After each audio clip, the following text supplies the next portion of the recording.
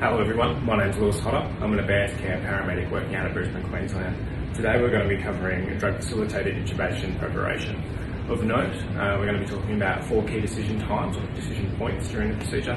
We're going to be talking about airway assessment, patient optimisation, particularly regarding perfusion and oxygenation and ventilation, as well as our setup with our airway adjuncts, uh, lining with our vortex approach. Drug facilitated intubation is the process of sedating or anaesthetizing, relaxing or paralyzing, and intubating a patient to improve and control their physiological parameters and to optimize their care.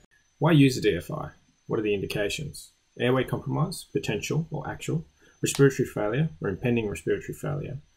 Considering the patient's requirements is important there. Neuroprotection and specific patient requirements, such as in a TCA overdose. There are a lot of good reasons why a DFI would be dangerous and not advisable, but the most definitive contraindication is a lack of ETCO2, therefore rendering an inability to secure a tube or confirm.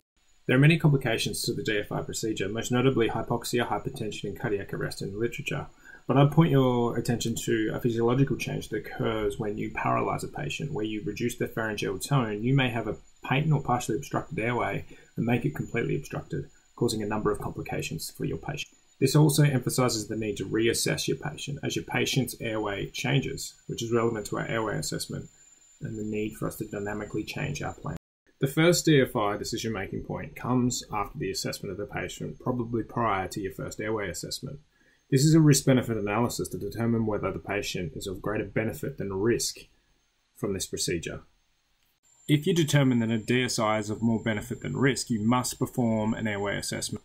What is the utility of an airway assessment? Is it the prediction of a difficult airway? Well, no. This is a table included by the Australian New Zealand College of Anaesthetists, and it shows that the positive predictive value of any test or any set of tests is very low in predicting a difficult airway.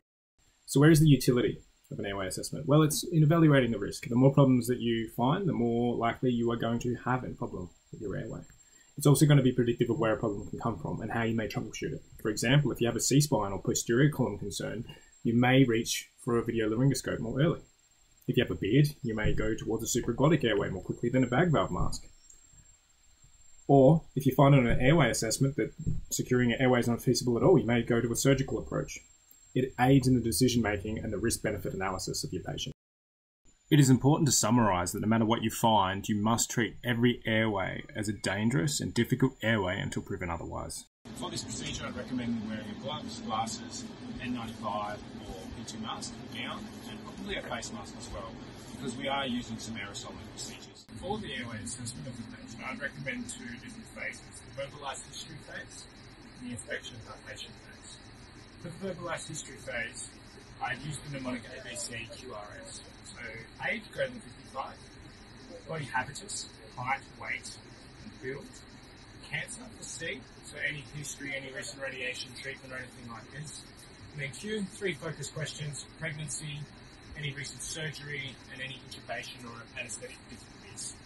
Then for R, we have reflux, and S, we have sleep apnea. For the inspection palpation phase, I think it's first really good to start with the C-spine because this will determine what we can and can't do. So obviously, do we have any C-spine injury? And do we, if not, have good flexion of the neck and extension of the head? If so, that is going to give us a really good indicator of whether we're going to have posterior column problems or not. We need to look for a presence of the beard and address that. Whether we want to do Glad wrap, whether we want to lubricate, we need to implement a plan when we identify it. Facial trauma. Do we have a loss of integrity? The jaw. Are we going to have a good seal? Are we going to have foreign bodies, including teeth blood possibly in our airway? Then we need to look at the size of the mandible. Is it receding? Is it really big? And how mobile is it? Can we do a good big jaw thrust with good movement? From there, we're going to look for dentures. So are they present? Are they not present? Um, and are they partial? Should we be removing them for when we're going for an ETT versus when we're doing a bag valve mask? Is there a profound overbite? And are there buck teeth that are going to limit our view of the airway? We can do as well a modified 332. Obviously, we probably don't have too many opportunities where we can determine the incisor gap here, but we can measure the thyromental distance. And we can also put two fingers from the thyroid cartilage to the hyoid bone to give us some indicators about the airway anatomy. And do we have any recent neck surgery? Do we have any scars on the patient? Assessment limitations in the pre-hospital setting include the fact that paramedics are novice practitioners in managing airways.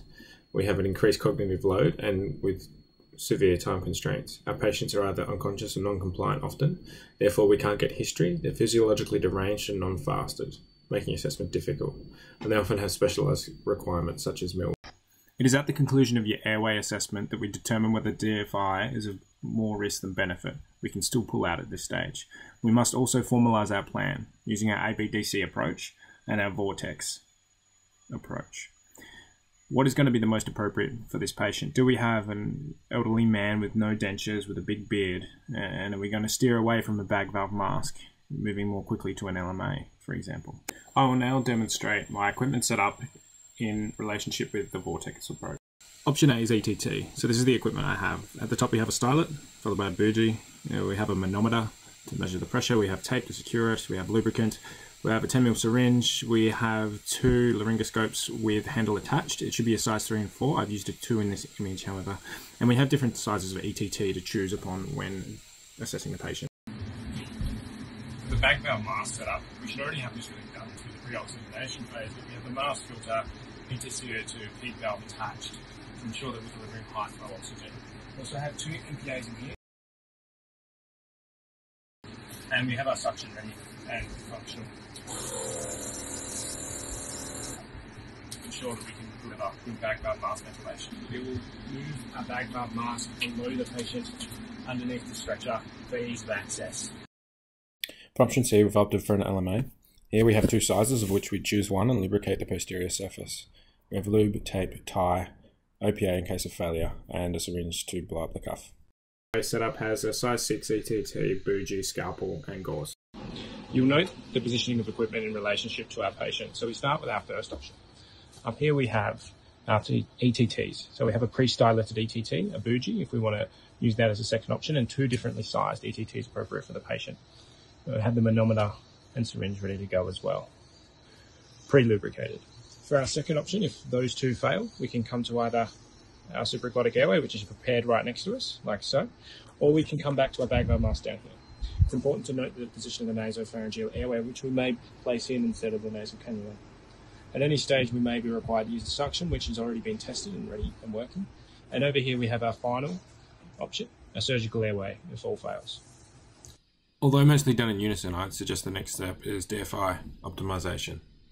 For airway optimization, we'll demonstrate ramp. So this is the ramping position. We pad underneath usually the shoulders to push the shoulders and thorax up and forward.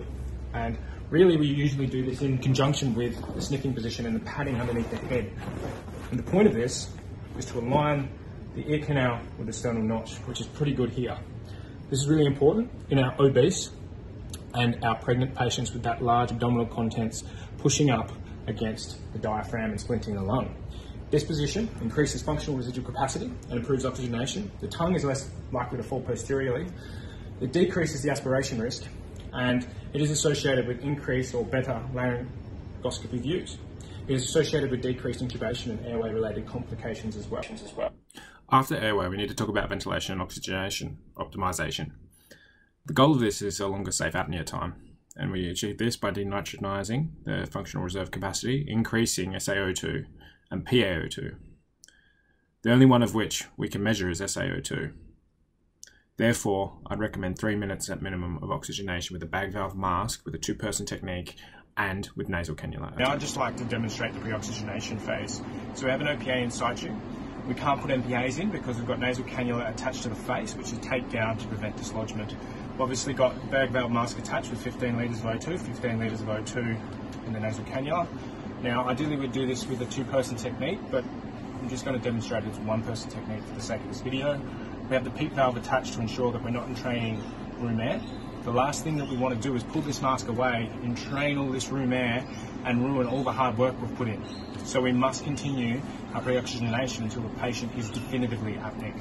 We can turn up the PEEP if we believe that the patient has a physiological shunt and is going to benefit from it and we're having a tough time ventilating the patient and getting the SATs where we need to. To talk about delayed sequence intubation, where you use procedural sedation to optimize ventilation and oxygenation, or a procedure such as deep. In regards to perfusion, we need to really be thinking about fixing the cause, if it's a hemorrhage, for example, or decompressing a chest for a tension pneumothorax, administering a small fluid bolus or a large fluid bolus, depending on the physiological parameters of the patient. we need to choose our induction agent wisely, propofol versus ketamine, for example. And I would advocate for a noradrenaline infusion for our vasopressor. And why do we do this? To prevent hypotension, cardiac arrests, and adverse outcomes. I would advocate for a noradrenaline infusion to maintain perfusion. I'd do this using a Springfusor uh, infusion pump. Infusion is greater than bolus in maintaining therapeutic levels of a drug. Of the vasopressors, noradrenaline has the safest physiological profile, and extravasation risk is likely exaggerated with very low rates of adverse outcomes. After optimizing the patient, we have a new decision point. And we need to ascertain whether the patient is still of more benefit than risk. We're DFI, and we need to ensure that we've done everything we can to optimize them and make them safe for the procedure. The final and fourth decision point I'll talk about in this video occurs during the procedure itself. We're gaining information when we go into the oropharynx with the laryngoscope, particularly about the middle column, and that can inform our plan and which techniques are going to be likely or unlikely to be successful. Thank you for taking the time to listen to my video.